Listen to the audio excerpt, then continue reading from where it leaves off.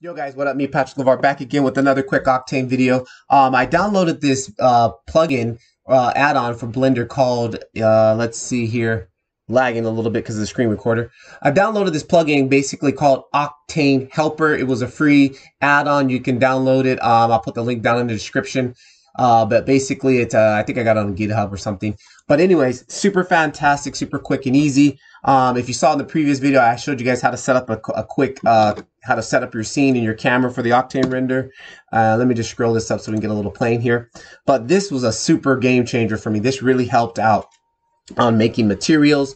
So I got my cube here, right? If I just right click on my mouse and you'll see here, I got this Octane tab. Here we got Octane materials, environment, render. Like I haven't even gotten into all of this stuff. And then check this out. Info. You can it'll send you to places to get help. I mean, this super fantastic. But I want to quickly just show you about the materials here and how easy it is to set them up. So if you click on materials, you scroll down to shaders. Here's all the basic shaders. They're the same ones in the node in in the uh, in the if we go into shader view, all the node compositor, it's the same thing, but it's just a, a quicker way to grab them. And for example, here I'm just going to click on this and we'll hit diffuse boom, it slaps a diffuse on. Let's go into the shader tab so you can see this here. Drop in from object to, there we go. Now we're in object. It basically just dropped this in. It's all set up here. I can change the color.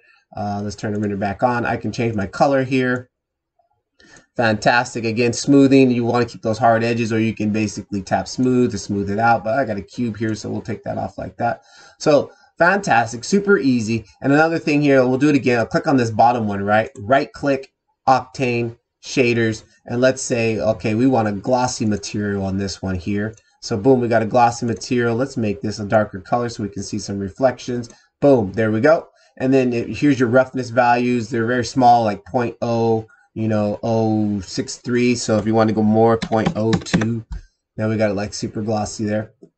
Fantastic. Now what if I wanted to add like a texture to this. So again right click octane uh, convert to, hang on, hang on. What did I do on that one? Uh, I think actually this one, okay, we have to go in the long way. So, but let me show you a quick, uh, another quick tip.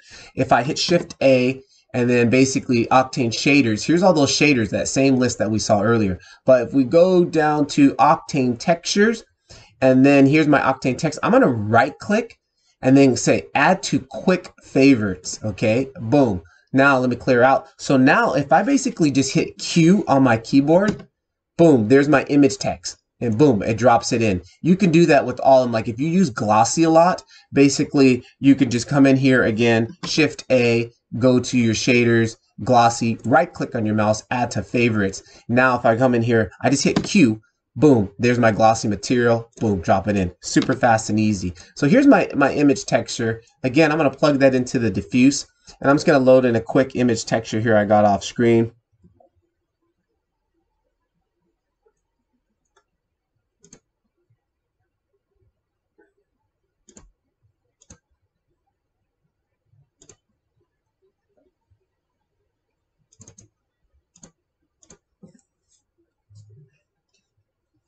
All right, so I got my image texture in here and you can see I have it plugged in the diffuse, which is actually wrong. Let me take that and we plug that into the roughness.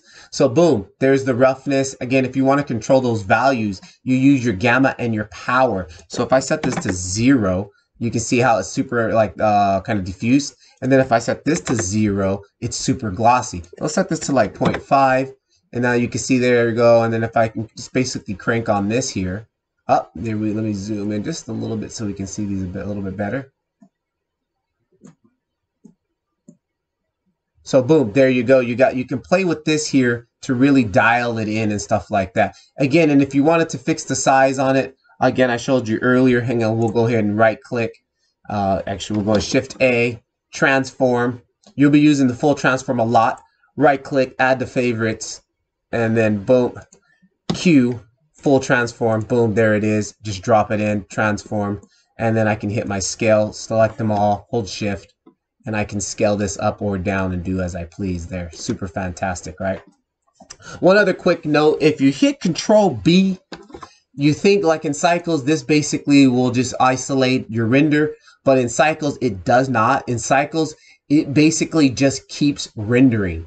If you see here, like my original, it says here max samples for my viewport was 100, but it just keeps going. It doesn't stop.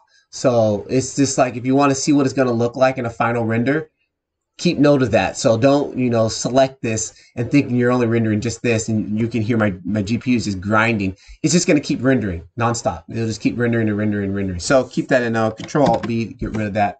So that's quickly how you can add in some shaders uh, really fast. Let me jump back in the camera. Let's zoom back out. And then if I wanted to add a light in, again, Shift, add a plane, G, Z it up here.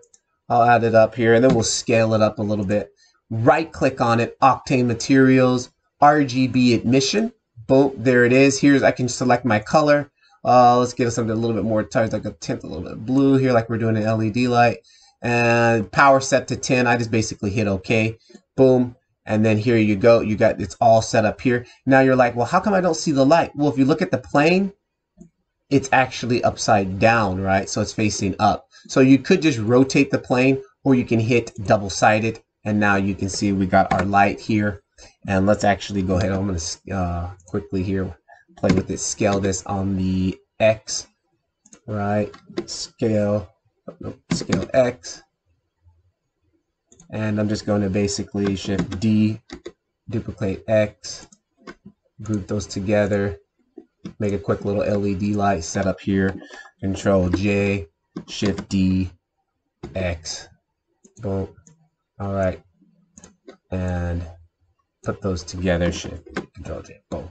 So I got a little a little light set up here basically. Bring that up. And again, they're at 10. You can play with your power here. Let's go 25.